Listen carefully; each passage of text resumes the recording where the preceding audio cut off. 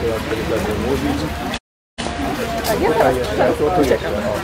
Panią dyrektor tutaj. Zapraszamy. Oczywiście. Tam z przodu. Jeszcze, jeszcze wyżej tablice tam muszą być jeszcze. Jeszcze wyżej. Możemy się zainstalować.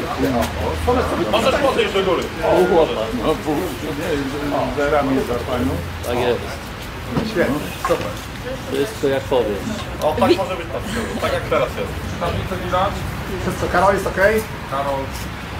Jest okej. Witam Państwa na konferencji Solidarnej Polski, e, w której udział bierze wiceminister sprawiedliwości, poseł na Sejm RP, e, pan Marcin Warchoł. E, Witam panią poseł Marię Kurowską.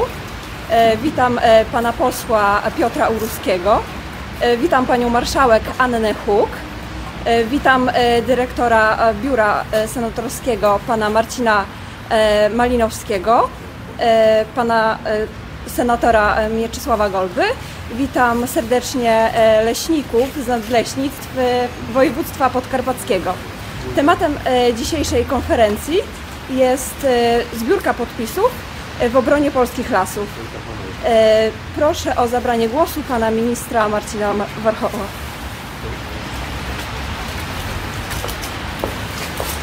Dzień dobry.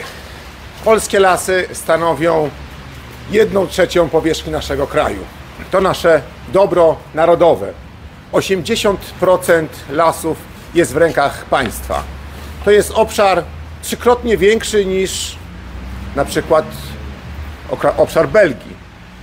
W Polsce lasy państwowe są dobrem narodowym i są zarazem kołem zamachowym naszej gospodarki. 3% PKB to właśnie lasy państwowe, to właśnie gospodarka leśna, to przemysł drzewny. Niestety Unia Europejska w swojej bezczelności próbuje sięgać po kolejne nasze dobra narodowe. W tej chwili są podejmowane próby zmiany traktatów w taki sposób, żeby lasy przeszły pod dyktat Unii Europejskiej. Komisja Sprawiedliwości, Komisja Środowiska Parlamentu Europejskiego dała zielone światło na zmianę traktatów. Niestety głosowało za tym trzech polskich europosłów. Ewa Kopacz, pan Jarubas z PSL-u i pan Arłukowicz. Lewica, PO i PSL są za oddaniem polskich lasów Brukseli. Nie możemy się na to zgodzić. Ponadto są prób- podejmowane próby wojny hybrydowej w celu zdestabilizowania naszego bezpieczeństwa na granicy wschodniej wypowiedziami tak nieodpowiedzialnymi, skandalicznymi jak Janiny Ochojskiej w ostatnim czasie, która zarzuciła polskim leśnikom, że ukrywają ciała migrantów na terenach Puszczy Białowieskiej. Mam nadzieję, że za te haniebne słowa odpowie. W tej chwili toczy się postępowanie w prokuraturze i także jest pozew o ochronę dóbr osobistych. Musimy chronić dobrego imienia naszych leśników. I dlatego też inicjatywa Solidarnej Polski polegająca na zbiórce podpisów. Rozpoczynamy zbiórkę podpisów pod ustawą w obronie lasów. Potrzebujemy 100 tysięcy podpisów. Ustawa co będzie zakładać? Po pierwsze, wprowadzi suwerenną decyzję polskiego parlamentu w przedmiocie każdego stanowiska co do sytuacji polskich lasów. Otóż to polski parlament większością dwóch trzecich głosów będzie za każdym razem decydował w każdej sprawie co do gospodarki leśnej, co do polityki leśnej w Brukseli. To jest bardzo istotne po to, żeby to w rękach Polaków były losy naszych lasów.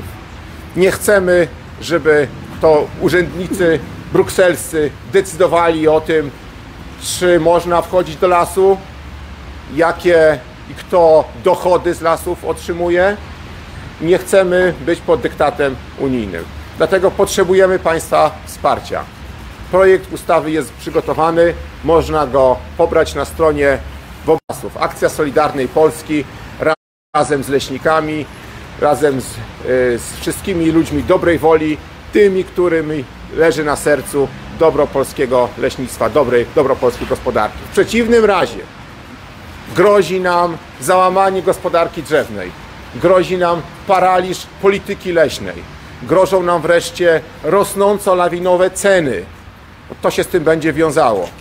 Załamanie gospodarki, ogromne ceny drewna, ceny innych materiałów, katastrofa gospodarcza. Tego chce Unia Europejska, nie możemy do tego dopuścić. Jako Solidarna Polska sprzeciwiamy się tym zakusom i stąd dzisiaj rozpoczynamy tę zbiórkę. Bardzo dziękuję. Proszę o głos panią poseł. Dzień dobry. Szanowni Państwo, lasy to nasze wielkie dobro narodowe. A ja jestem dumna z tego, że podstawy pod to prawidłowe prowadzenie gospodarki leśnej położył Jaślanin, pierwszy dyrektor naczelny Lasów Państwowych już prawie 100 lat temu, Adam Loret. Dzięki temu nasze lasy są tak zorganizowane, że ta organizacja gospodarki leśnej jest najlepsza w Europie. I są bardzo konkretne efekty tego, bo nasze lasy są piękne, zielone, a nade wszystko mają do niego dostęp każdy mieszkaniec Polski. W ogóle nie tylko Polski, ale Europy, bo nasze lasy są państwowe i tylko w w kilku, 20% są lasami prywatnymi. Niestety są zakusy Unii Europejskiej na nasze lasy, które stanowią 30% powierzchni naszego kraju, ale jeżeli będzie przejęte to 30% właśnie przez Unię, do zarządzania przez Unię, to zauważmy, że pod lasami też są wielkie dobra naturalne, które wtedy przeszłyby pod zarządzanie Unii. Nie możemy się na to zgodzić, chociażby dlatego, że mamy już próbkę działalności Unii i organizacji ekologicznych Puszczy Białowieskiej. Z pięknego, zielonego lasu świerkowego mamy teraz suchy las świerkowy, ponieważ zniszczono kilkaset hektarów lasu. Zniszczono w ten sposób, że zabroniono odpowiedniego gospodarowania, zwalczania kornika i dzisiaj widzimy, że nastąpiła degradacja tego środowiska do tego stopnia, że giną tam również mniejsze rośliny, Y, które y, były bardzo ważnym elementem tej puszczy. Dlatego też zapraszamy Państwa wszystkich do naszych biur poselskich. Każdy Polak powinien czuć się odpowiedzialny w tej chwili za to, aby chronić polskie lasy. Aby Państwu umożliwić, abyście mieli wkład w tym, że dokładacie cegiełkę do obrony polskich lasów, to w naszych biurach poselskich są listy, które można przyjść i podpisać, można je zabrać do swojego środowiska, a następnie złożyć. Nasza akcja jest szybka. Chcemy się uwinąć z tym w tym tygodniu, bo nie możemy czekać. Yy, chcemy jeszcze w tej kadencji Sejmu podjąć tą ustawę, która jest absolutnie zasadnicza yy, dla dalszej gospodarki leśnej i proszę zauważyć, to jest około 500 tysięcy miejsc pracy, zarówno w lasach państwowych, jak i w przemyśle drzewnym, mebralskim i innych, które są z tym związane. Zatem zapraszamy Polaków, aby stanęli z nami, z Solidarną Polską w obronie polskich lasów. Dziękuję. Czy Piotr może? Szanowni Państwo, myślę, że każdy, kto ma w sercu dobro Polski, wie o tym i czuje to dobrze, że obrona polskich lasów jest koniecznością i polską racją stanu w chwili obecnej, bo lasy to surowiec, to też miejsce, gdzie przebywamy, wypoczywamy, jesteśmy. To ogromna, integralna część e, Polski.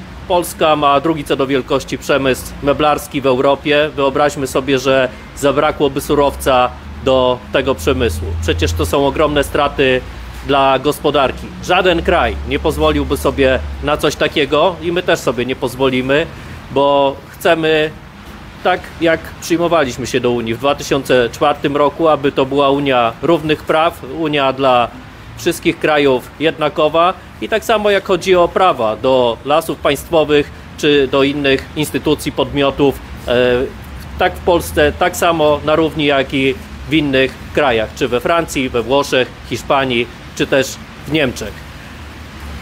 Ja pochodzę z Sanoka, a więc blisko są Bieszczady i tym bardziej wiemy i czujemy w Bieszczadach, jak ważna jest gospodarka leśna. Bieszczady żyją z turystyki i właśnie z gospodarki leśnej. Nie wyobrażam sobie tego, gdyby nie było lasów państwowych, nie było możliwości pozyskiwania drewna w taki sposób cudowny, wspaniały, dobry, jaki robią to właśnie polscy le leśnicy od 100 lat. Jest to wzorcowa gospodarka leśna. Bardzo Wam dziękujemy, leśnicy, że jesteście tutaj dzisiaj z nami. Myślę, że tak jak i Wy, tak i my i wszyscy ludzie w Polsce czują, wiedzą, że lasy państwowe są naprawdę bardzo ważnym elementem gospodarki i chcemy je wspólnie obronić.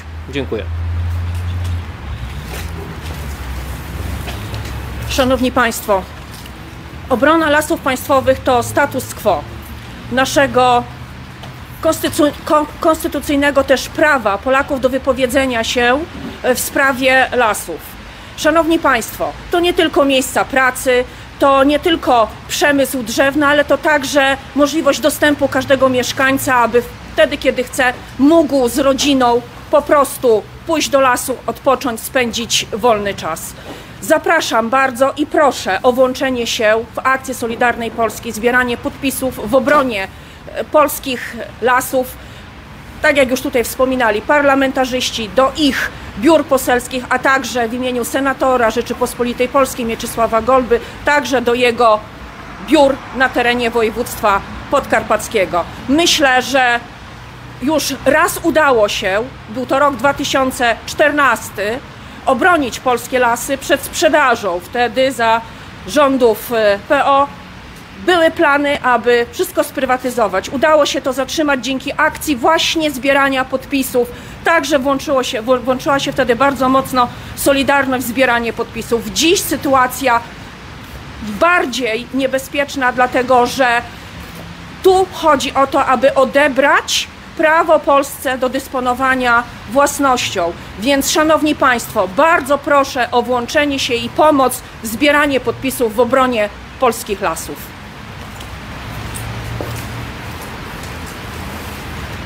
Dzień dobry, Szanowni Państwo.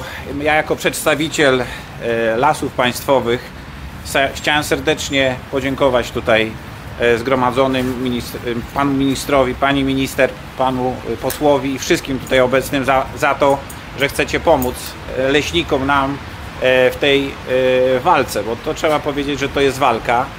E, My jako lasy państwowe gospodarujemy na, tak jak było- powiedziane, na jednej trzeciej powierzchni e, kraju. Jedna trzecia powierzchni kraju stanowią lasy. E, To jest, to jest system naczyń, naczyń połączonych. My gospodaruje, gospodarujemy na, e, na tej powierzchni lasów, ale też pracują u nas zakłady usług leśnych. E, To drewno później wykupują tartacznicy, później przerabiają. Także jest to około 500 tysięcy e, miejsc pracy ogólnie, leśnicy i, i tak jak powiedziałem, naczynia, naczynia połączone, czyli te inne firmy.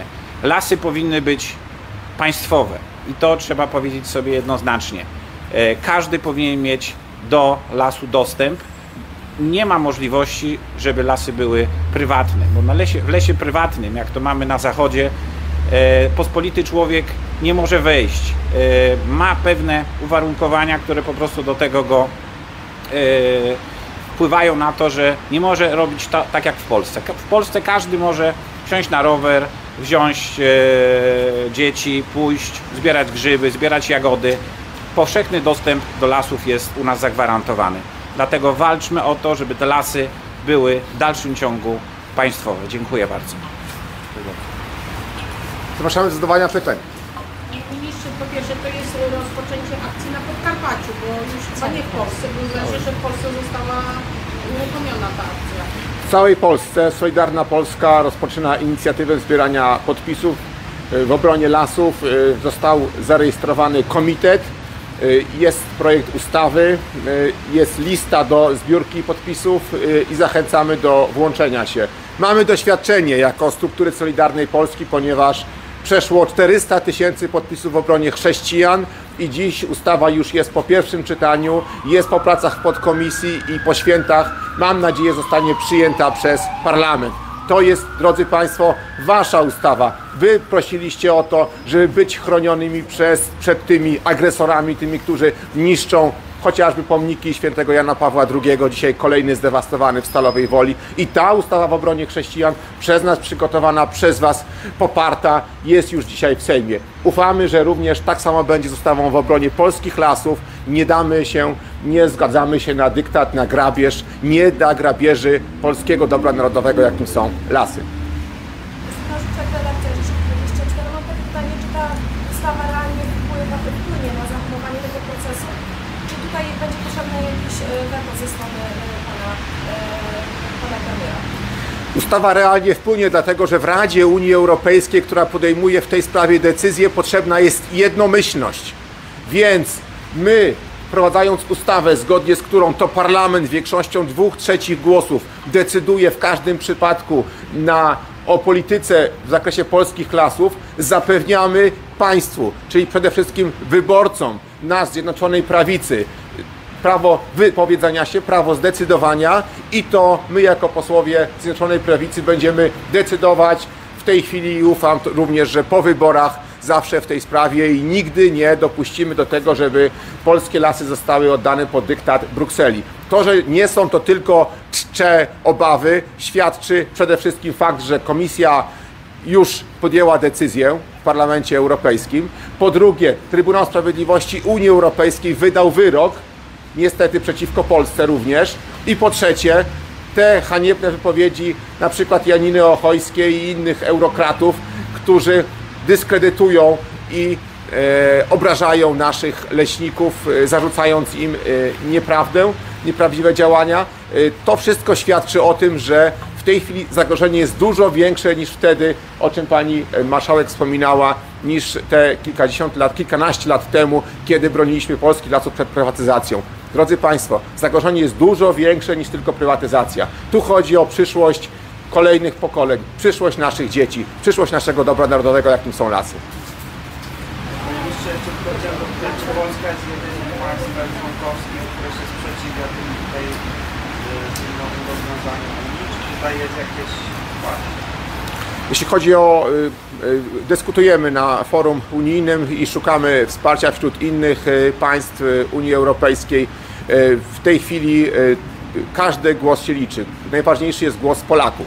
Jeżeli Polacy podpiszą się pod tą ustawą, gremialnie powiedzą nie, to będzie również zachęta dla innych krajów. Wiele krajów patrzy na Polskę z nadzieją, że to my będziemy tymi, którzy powiedzą zdecydowanym głosem nie grabieży, nie tej przemocy, która tu się próbuje dokonać na lasach. Yy, Szukamy oczywiście koalicjantów, natomiast najważniejszy jest głos państwa, głos Polaków. To jest najmocniejszy dla nas mandat do tego, żeby móc prowadzić twarde, zdecydowane negocjacje e, z, ze złodziejami, bo ci, którzy wyciągają rękę po cudze, to są po prostu złodzieje czyniąc to bezprawnie. Traktaty w żadnym miejscu nie pozwalają na to, żeby Unia miała wpływ na lasy. W żadnym miejscu. Leśnictwo jest oddane wyłącznej domenie Polski. Tymczasem w sposób bezprawny, tak jak w sprawach sądownictwa, tak w przypadku lasów, w sposób bezprawny próbuje się nam zabrać nasze dobro narodowe i będziemy go bronić ze wszystkich sił. Dziękuję Państwu za uwagę.